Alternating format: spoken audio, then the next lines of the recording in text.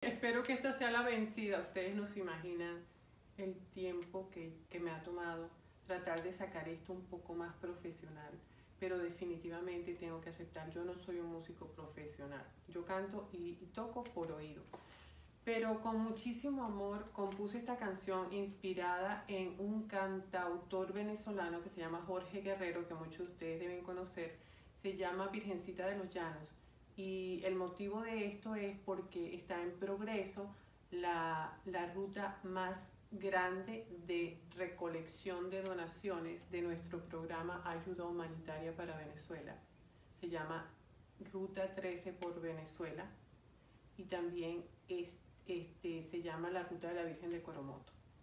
Este, la intención es recoger fondos para enviar las toneladas de toneladas de insumos médicos que se están recogiendo. El camión está prácticamente full. Este, pueden ir a la página de internet Ayuda Humanitaria para Venezuela, eh, revisen Instagram Ayuda Humanitaria para Venezuela, Facebook, para que vean la labor tan impresionante que se está realizando. Pero como todo en esta, en esta vida necesitamos los medios para poder enviar, medios económicos para poder enviar todos estos insumos.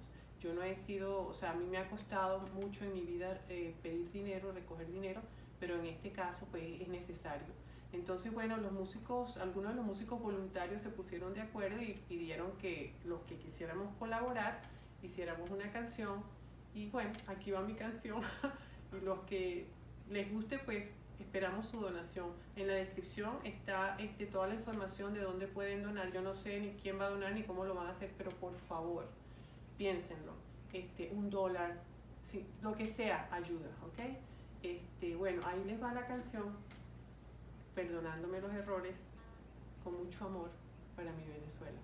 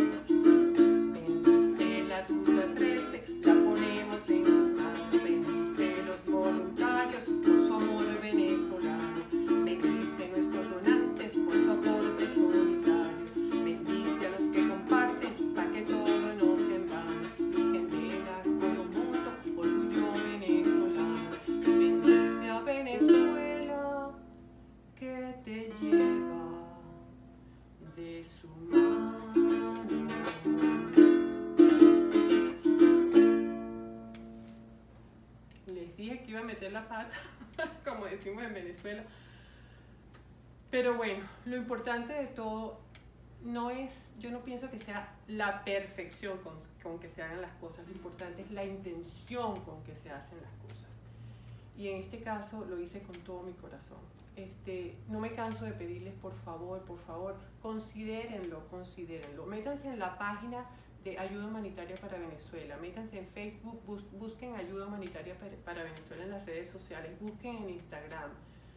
Fíjense en la labor tan increíble que esta gente, o que estamos haciendo, porque yo también me considero parte de este programa. Y verán, o si ustedes todos, todos, todos, bueno, los que están escuchando esto o, las personas que, saben de lo que este programa está haciendo, dieran algo, un dólar, dos, cinco dólares, lo que puedan dar, eso hace la diferencia. Y nuestros hermanos venezolanos se van a beneficiar, por lo menos para subsistir, porque en Venezuela no existe no hay comida, no, no hay techo, no hay salud.